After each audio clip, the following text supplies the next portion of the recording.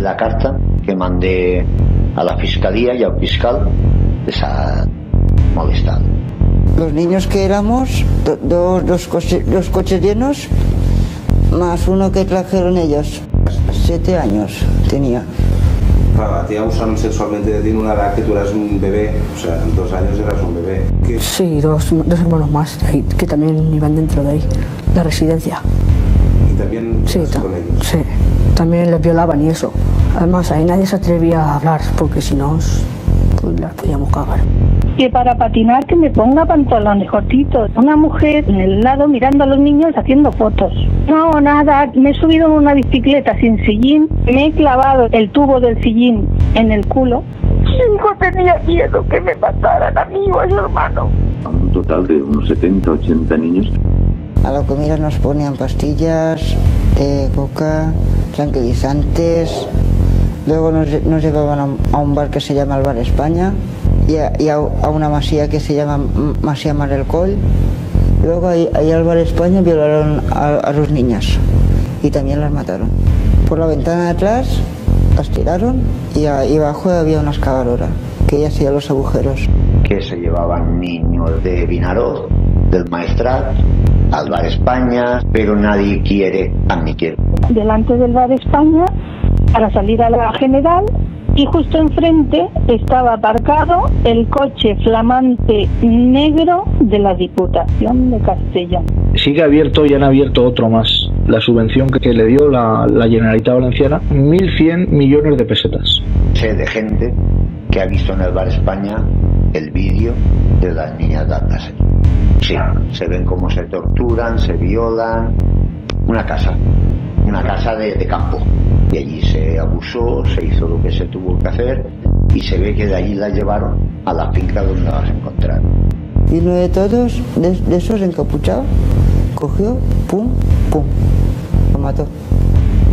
Los niños describen cómo matan mu- a dos niñas.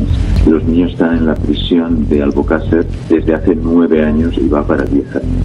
Y no sabemos por qué. Porque hay un grupo de pederastas que son propietarios de agencias de adopción. Eh, es que los destrozan de tal forma que, que ya a los niños les da igual 8,80. Al Antonio el Gitano le mataron a las dos higuitas. Los primero eran los miércoles y luego los viernes también. le faltaba una mano, le faltaban todos los dientes, estaba destrozadita. Y eso no lo hace un delincuente habitual como eran estos. He visto cadáveres que les han arrancado las orejas, la nariz, los labios, la lengua. En vivo. Y las niñas no, no murieron el mismo día, la tuvieron, según Fronteras, estuvo viva por lo menos un mes. Torturarla, lo más horroroso es que se le puede hacer a una persona. Palos por el ano, por sus partes, y a la niña le faltaban todos los dientes. Las cosas que tienen las niñas no las hacen dos desgraciados. De, tuvo doble enterramiento. El pelo completamente caído, las cabezas separadas. ¿Dónde estaban las manos? ¿Dónde estaban los dientes? Ah, Fabra. Tiene sentimiento ese. De algo me acuerdo. Fabra, Farina y todos esos. El presidente de la Diputación de Castellón, Carlos Fabra Carrera, se la metía a su hermano José Manuel por el culo y a él otro hombre dentro de la residencia bajo Maestrazgo de Vinaroz.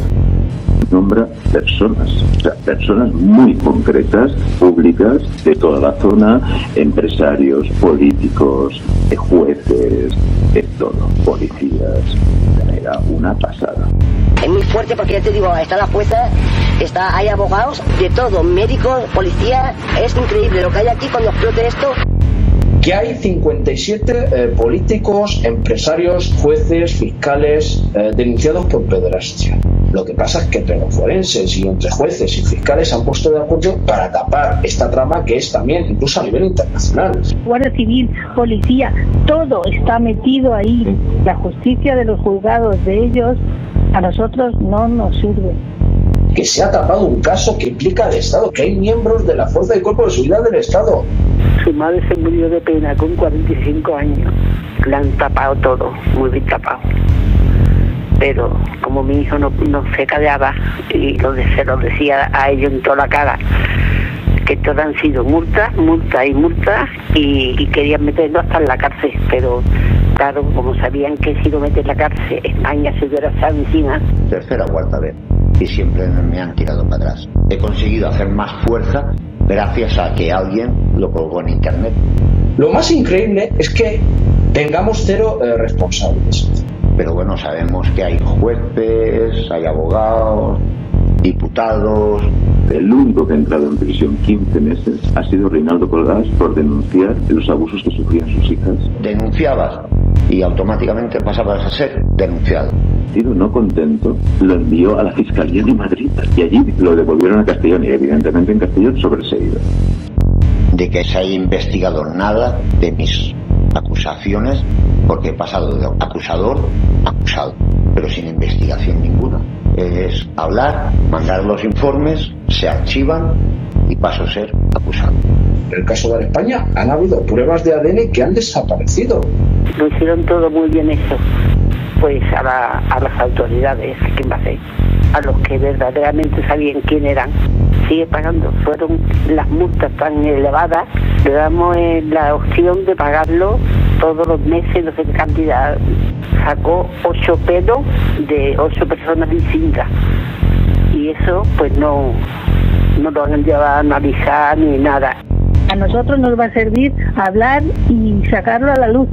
Lo único que puedes hacer es intentar explicarle a las personas de tu entorno, acercarles un poco a la realidad y la mitad no se enteran de nada, no quieren enterarse, te dan respuestas que te entrarían ganas de pegarles y agredirles físicamente. Quien lo quiera ver lo tiene delante.